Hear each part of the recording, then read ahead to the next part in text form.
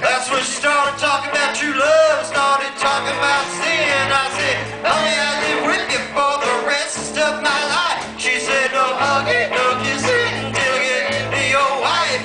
My honey, my baby, don't put my love upon the shelf. She said, don't hand me no knives and keep your hands to yourself.